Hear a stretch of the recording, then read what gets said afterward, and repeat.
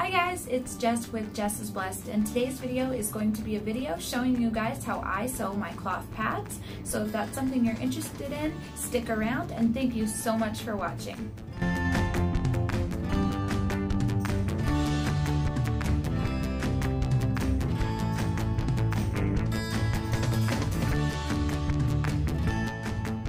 First of all, I'd like to say I am definitely not a pro sewer. I am not a master sewer. I've only been sewing for about uh, close to five months. However, I have been sewing a lot and I have gained a lot of experience over the past five months and I think that I sew very well, especially for someone at my level.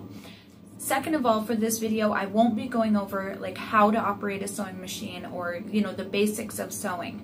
If you're watching this video, it's designed for those of you that have a basic skill set involving a sewing machine already, that you already have the skills that it takes to sew a project.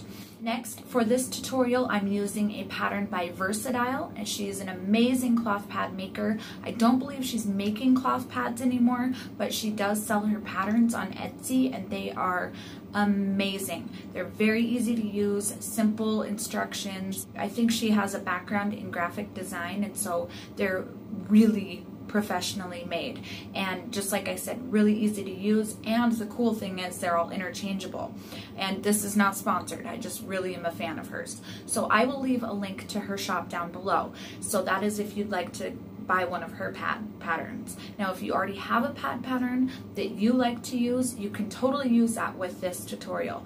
I, you do not have to use a Versodile pattern. I was just letting you guys know what I used. Also, I am not using a seam allowance with this tutorial. I learned that basically from Versodile, from her sewing tutorial videos. And it'll all make sense as we go along and as you see. But if using a seam allowance is something that you just have to do, then you can still draw in your seam allowance in the appropriate steps. So you can totally use that. But basically for my tutorial, for what we're doing here, all you'll need is your pad pattern that's the exact size of your finished pad that you want to have. So if you want an 8 inch pad, then you're going to have an 8 inch pad pattern and if you want a 9 inch pad, 9 inch pad pattern, etc. So this tutorial does not have seam allowances. Now if you don't have a pad pattern and you don't want to spend money on buying one or you don't have the money to buy one, then there's an amazing video showing you how to make a pad pattern at home super easy with a piece of paper and a ruler and a pen and it's by a lady named Amy Nix. I will leave a link to her video down below as well that is how to make a, I believe it's a quarter quarter fold pattern or a half fold pattern, but uh, I'll leave a link to it down below. It's an excellent way to make your own pad patterns. In fact, that is how I made my first pad patterns that turned out really well was from that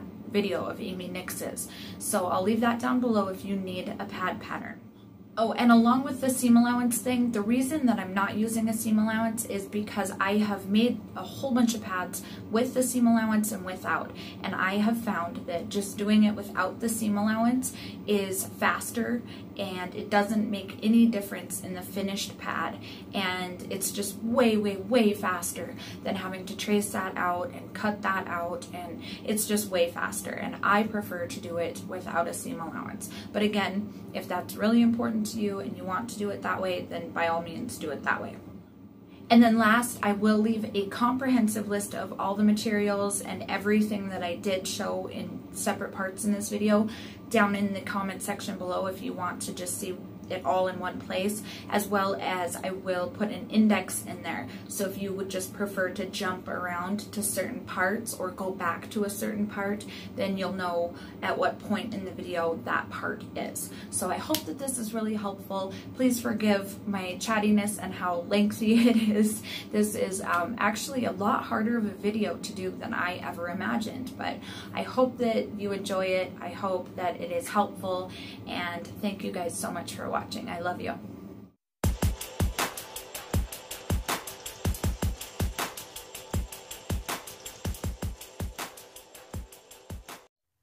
Okay, so for this first step, what you're going to need is your topper fabric.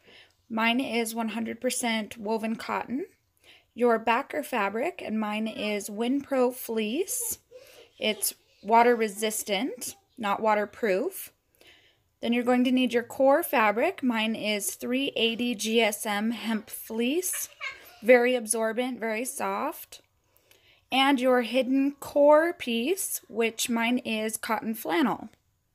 You can also use any very thin absorbent material like this is a cloth diaper flat or you can use anything that's cotton and thin as your hidden core piece.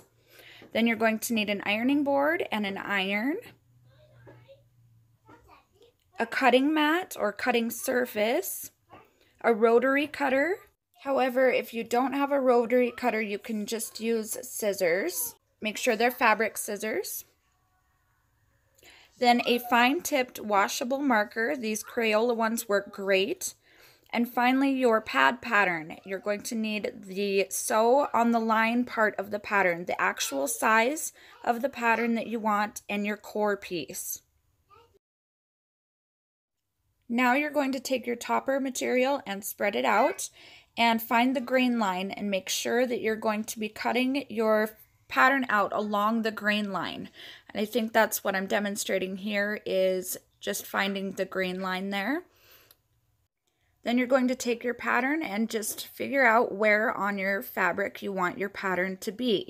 Now for patterns that I use a lot, I make these clear plastic templates so that I can lay them down on the fabric and see through them and I can tell exactly what my pad is going to look like, especially if it's a really unique pattern or anything that I want a specific portion.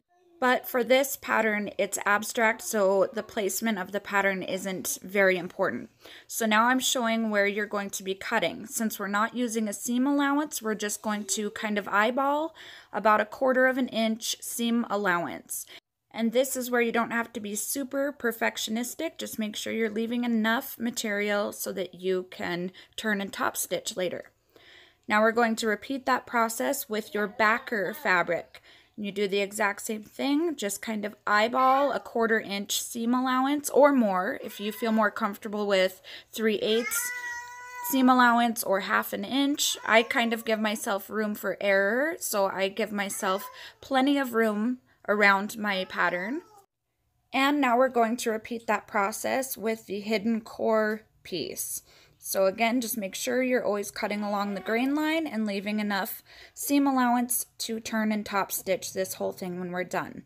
But we'll get there. We'll get to that point. And of course, you could use scissors for that part if you would prefer. I just like a rotary cutter because it is much faster. Now you're going to take your core piece and again, make sure you're cutting along the grain line, which is what I'm showing here. And make sure you're just cutting along the grain line, otherwise it'll cause warping and problems with your pad down the line.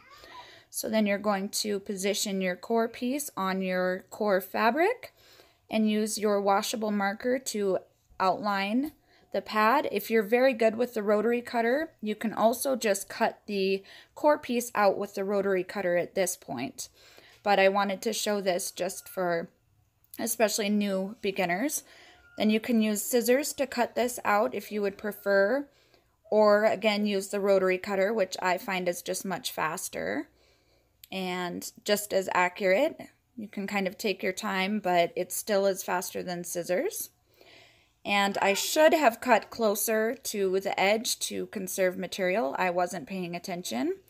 That's what I'm going to show you guys in just a second here. As I was folding it up, I realized that, oops, I should not have wasted that core material. This is very expensive fabric, but oh well. So now we're going to move on to ironing, and this part is very important. You're going to want to iron these pieces on low because how you put your pad together and sew it together is how it's going to stay. Now you'll see I'm using small circular motions. I'm not pulling or tugging on the fabric. A lot of times they will stretch if you pull or tug on them as you're ironing them.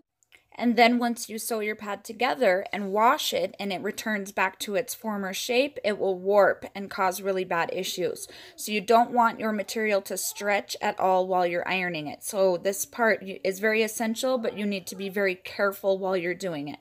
So you can see I'm just taking my time and ironing slow in little circles, not applying a lot of pressure, and just ironing each piece individually and laying them aside.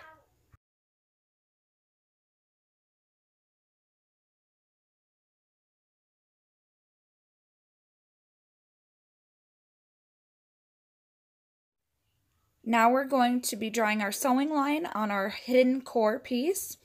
And if this doesn't make sense to you yet, it will as we go along. So you're going to take your pad pattern, the actual size of the pad that you are going to end up with, the actual size of the pad you want. You're going to place it on your hidden core piece and make sure that you leave plenty of room on all sides so that we can turn and top stitch later.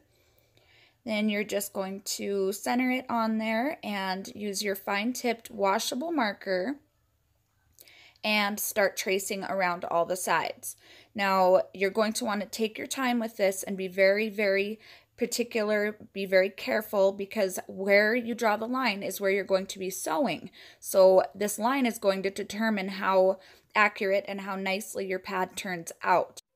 If you rush through this step, then you'll end up with a messy pad in the end. Also, you want to use a fine tip marker because if you use a very thick marker, you'll have a hard time determining where on that line you're supposed to sew. So just make sure you use a very fine tip marker.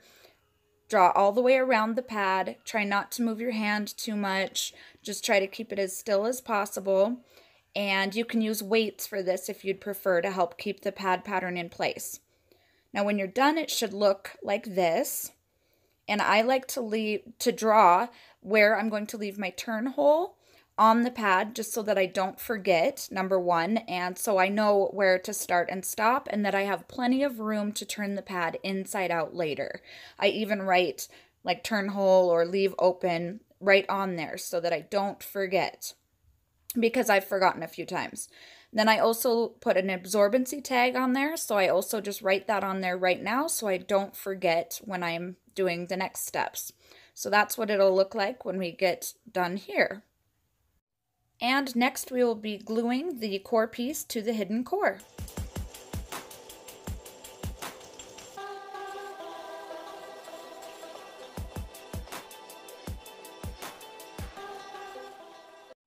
Now we'll go over the materials that we're going to need for the rest of the tutorial. You'll need sewing needles appropriate for your sewing machine and your fabrics. Now you don't have to have one of these, it's called a walking foot, but I highly recommend if you can that you get one. It helps when there's multiple layers of fabric like a pad that you're trying to sew. These little feet on the bottom help pull all those layers through your sewing machine. It helps basically walk and guide all those layers through so they don't shift on you. And so they're about $20 and highly, highly recommend they're worth the investment. Then this is a one quarter inch presser foot and this just really helps with top stitching. I find that it makes the best top stitches on my pads that I can possibly do because it's just very easy to guide and to follow. So I highly recommend using that. Then you want the thread that matches your pad. So whatever thread color and bobbin that's going to match your particular pad. And so for this one, I chose this really pretty green, and I think it really contrasts well with the pad and just will make it really pop. Then I have these little thread snips. I like to keep them handy because it's just very nice to be able to trim threads while I'm sewing. Not essential, but handy. And same with this seam ripper. In case you make any mistakes, you can just pull the seam out really fast and start over, which I have to do quite often. And then I just have these small sewing scissors and these are also very handy. They're very good for when we're turning and top stitching, uh, when we're cutting, trimming to do that. So then you're going to need a pair of full-size scissors and these are also handy. Again, you don't need both kinds. I just like to show you what all I have and what I use when I'm sewing. And then these pinking shears, and these are excellent for trimming our pads before we turn them and then top stitch them. They help so that the fabric doesn't fray very much and they just really help eliminate the bulk of the material when you turn your pad.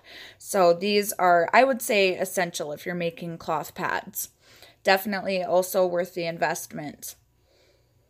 And then, of course, you're going to need your pad, the pieces that we have assembled so far. And then I have this absorbency ribbon I was telling you guys about. And I just place them in with the folded side in along, along the sewing line. I actually am showing it wrong on here.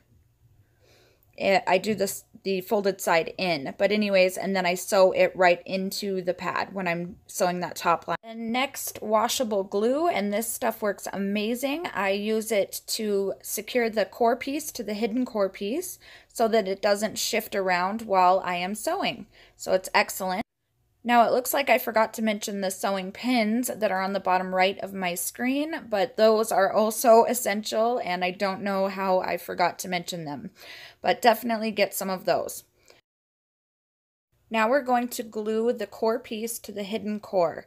Now also, just like before, don't stretch the fabric. Just like when we were ironing, try not to stretch it. So use small, thin strokes to uh, apply the glue because you don't want your core to stretch out. And with these like hemp materials, they stretch very easily.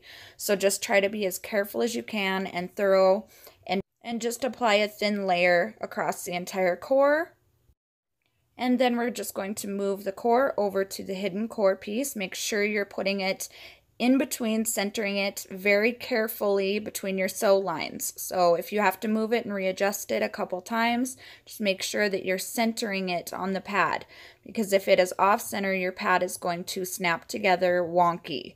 So just very carefully center the core on the hidden core and kind of press it down a little bit. And this is what it should look like when you are done. And now we're going to take all of our pieces and move over to the sewing machine, finally!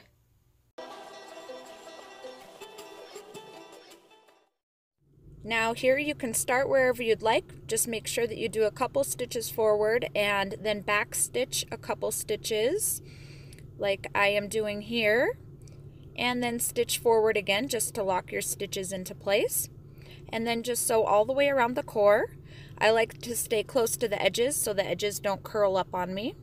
And then when you've reached the end, then just make sure that again you do a couple back stitches and a couple stitches forward again just to really secure those stitches and lock them into place. Okay, now lift your presser foot and trim your threads. My machine has a little thread cutter right there on the side. And now take your thread snips or your scissors and trim any loose threads that you have. And then once you're done trimming your threads, this is how it should look.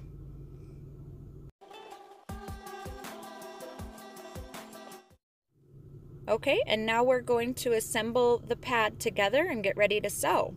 So what you're going to want to do is take your topper piece. So you're going to want the pretty side of the fabric, the side that you want to see facing what you're going to have the back of the pad be. So you're going to have the pretty sides facing each other or the sides of the pad that will be on the outside.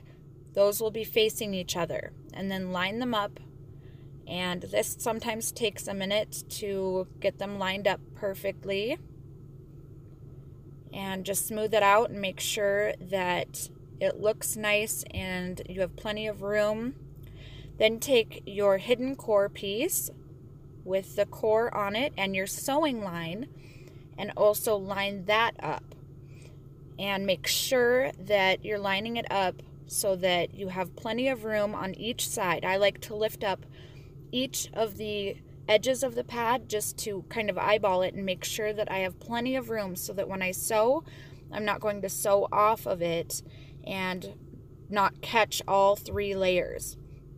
So make sure that you're catching all of the layers of the fabric. Now, if you're going to use an absorbency ribbon, this is where I do that, and I just glue the end together like this and kind of press it together with my fingers. Then I press it into the sewing line with the folded side on the inside. And then I use a little bit of glue just to secure it in place, washable glue. And again, the folded side is on the inside. and then I go around and pin. Now if you'd rather use clips, you can use clips. Just make sure that you're pinning all the essential areas and make sure that whatever way you're pinning, you just stick with whichever way you're doing it. If you're doing them horizontally, do them horizontally. If you're doing them vertically, do them all vertically. And then let's get to sewing. So I always start at the end of my turn hole. So wherever your turning hole is, I start on one side of that so that you don't have to start and stop numerous times. And then just sew right along the sewing line, removing the pins as you go. You don't want to sew over a pin. That's a good way to break a needle or get hurt. But just take your time.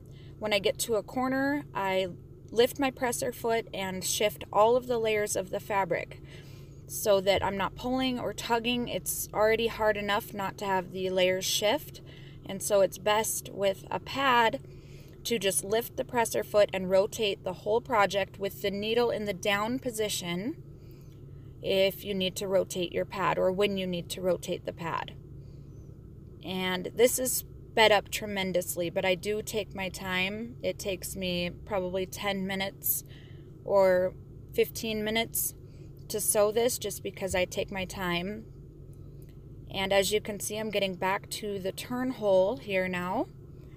And make sure that you are also back stitching and forward stitching at the beginning and end of the sewing. I forgot to mention that at the beginning part.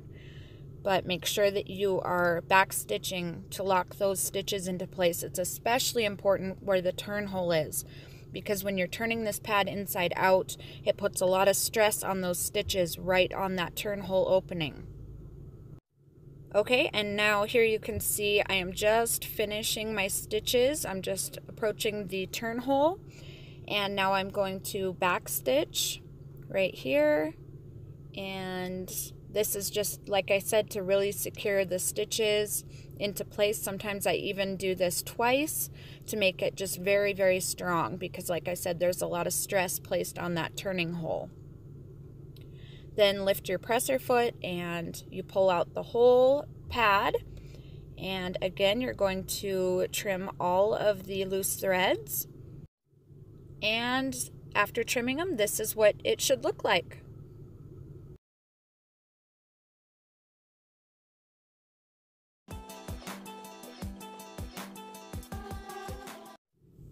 And now before we start trimming anything, just make sure that you have sewn it together correctly and that the pretty sides are facing each other when you peek in there. And then you're going to take your pinking shears and just start trimming around the edge. Now be very careful that you don't trim into your stitches. You don't want to cut into the stitches. Be careful when you're, turning hole and leave extra material to tuck in so leave extra fabric there, but the rest of the pad just trim very close to your sew line, but without actually cutting into any of the stitches. Just be very careful of that. And again, leave extra room at your turn hole. Now you're going to go to the turn hole and you're just going to trim along these little lines or just where the stitches stop. So you're just going to be trimming straight lines don't go all the way up to the pad, just go close and make sure that you're just leaving enough material that you can tuck it inside and when we turn and top stitch it will catch that extra layer of material or extra I guess flap of material. So you'll see I'm trimming off some here but I'm still leaving extra. Now you're going to go to the corners and I'm zooming in here so you can see, but you're going to want to trim each of the corners at an angle so that when you turn your pad inside out, the corners will be nice and crisp. So you want to trim those as close as you can, but don't, again, don't pop any stitches. Don't cut into your stitches.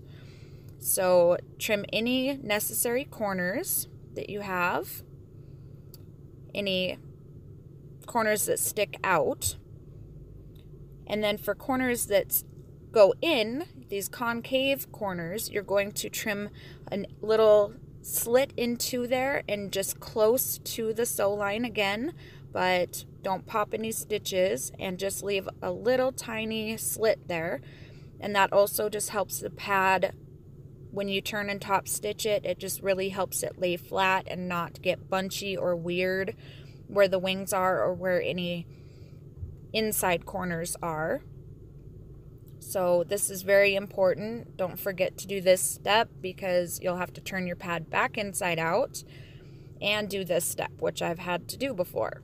So it looks like I'm just double checking all the corners here. And then this is what it should look like once we're done with these steps. This is what your pad should resemble. Granted, it'll be a different shape. Now to turn the pad inside out, I've found that crumpling it up, kind of crunching it, helps it when you are turning it. And then find your turn hole and make sure that you're turning it so that you can see the top, the pretty part of your pad and the back. So that is what you are aiming for when you're pushing through. And then just kind of tug it through, gently pull it, and just pull until you get all of it worked out. And sometimes this can take a while. So just be patient. Try not to pull or tug too hard because it will pop the stitches on your turn hole. And so just take your time. You can use your fingers and just gently kind of push in and take your time just turning your pad inside out. And you'll see here that I kind of sometimes roll the edges with my fingers and kind of do this little twisty motion with both of my fingers. That kind of helps wiggle the corners out. You just gently kind of wiggle each side and that really helps get the corners out as you can see. And then you can use a dull pointed object. A lot of people use knitting needles. I don't have one, but here I'm using a pin that is not clicked out, so it isn't super, super sharp, but you can use that to gently push the corners out and kind of along the inside seam of the pad. And that works really, really well to turn your pad. Just again, be very, very careful because if you poke through it, your pad is basically going to be ruined. It's really hard to repair at this point. So again, just gently go all the way around, taking your time, turning your pad, and really getting all of the corners out because you want your pad as flat as possible when you sew it because how you sew your pad when you top stitch it is how it's going to look forever. And so just really make it look nice. Now here we are basically with everything except for that turning hole fabric tucked in. And that's where that extra little flap is I was telling you guys about and why that's essential to leave a little bit longer because here now you can see I tucked it in and when we top stitch it's going to catch that. So now take it over to your ironing board and give it a good iron and just get it as flat as possible because like I said, how your pad looks now is how it's going to look forever. So I like to get mine as flat as possible. Looks just beautiful. And now we're back at the sewing machine and we're going to sew a couple stitches forward, back stitch, and then just sew along the edge of the pad. Now, this is where I use the one quarter inch presser foot and I line up the right hand side with the edge of the pad. And that is where I keep my eye trained is just on that very edge and I just sew all the way around the pad. And again, I take my time, I lift the presser foot and rotate the whole pad when I get to a sharp corner or a curve I don't try to pull or tug on the whole pad. And I really take my time with this part because the top stitching is going to be visible to the world. So this is where you show off your excellent showing, sewing skills. And the corners of the wings tend to be a little bit difficult. And sometimes I have to kind of press down on the fabric or even on the presser foot to get it to lay flat and then just sew all the way around your project. And sometimes you have to turn it back and sew another stitch or even shorten your stitch length if you need just a little bit less of a stitch when you get to the edge so that your stitches will line up when you turn the corner, if that makes sense. And then when you get to the end, again, just remember to back stitch and then lift your presser foot, trim your threads, and snip off all of your loose threads. And now this is what your pad should look like. Absolutely beautiful.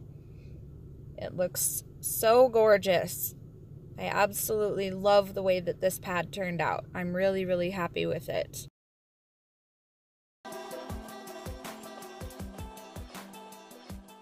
Okay, and now we're going to attach the snaps. I have this awl and then this snap attacher. I don't know what the actual official name is of it. And they came in a set together. And then you can purchase a million different colors of snaps. These are Kam snaps. Uh, then you're just going to find whichever color you feel like contrasts best with your pad. These are the cap pieces. These little round ones, this is the outside of the snaps. They're called caps. Then you're going to fold your pad over and just find which way you want your snaps to be, where you want your snap to be. And folding the wings over differently does sometimes affect the way the pad lays. So I suggest folding it both ways before you decide. Then you're just going to press the awl through and I use my finger behind it just to make sure it doesn't puncture the pad. And press through both of the layers once you're sure on your snap placement. Then you're going to place your cap in on one side of the pad facing the pretty side of the pad. You're just going to press it in and make it pop through that little hole. And then you're going to use the little pieces called the socket and the stud. And you can use whichever one you want. This is the stud, I believe. You're going to use your tool and press down really hard and it attaches the snap onto there. Now for the other side, you want to make sure, fold it over and make sure that you're going to have it snap on correctly. So with this other one, you place the cap on the opposite side of the pad. So from the back to the front and pop it through. Sometimes it is a little bit hard. And now you're going to use the socket piece and then just before you attach it, just double check and make sure that you are doing it so that you can snap your pad together once it is secured on because these are really hard to get off. Again, you want one to face the front and one to face the back. It doesn't matter which side is which, which side of the pad you have the socket and which side you have the stud. Just make sure that one is facing the front and one is facing the back. Then press it on and there you have it. That is what your finished pad should look like with the snaps on there. Some people do use ribbon or Velcro. You can use those if you'd like, but I like the way the snaps look. And this is what it looks like snapped together and it's just beautiful. So I hope that this was helpful. I hope that you love it and thank you for sewing along with me. Okay guys, so that was the sewing tutorial. If you made it this far, congratulations. I know it was a long video, but I hope that it was really helpful and I hope that you guys learned a lot, took a lot away from it. I have spent a lot of time researching and learning and perfecting how to make mama cloth pads and I feel like I am doing a really good job and I feel confident enough in my skills to pass this video along. However, if you're an expert sewer out there and you see that I'm doing something drastically wrong in this video, then I'm totally welcoming of nice constructive criticism. So definitely let me know. But other than that, if you guys have any questions or any comments or anything, please let me know down below. I will check the comments and I will be answering all comments the first 30 minutes after this video is uploaded. If you're new to my channel, please subscribe. There's always lots of cloth diapering and mama cloth, cloth menstrual pad videos, reviews, vlogs, and more, and lots and lots of giveaways. So stick around, we'd love to have you. Please give this video a thumbs up, and I will see you guys very soon. So until next time, good night, goodbye, and stay blessed.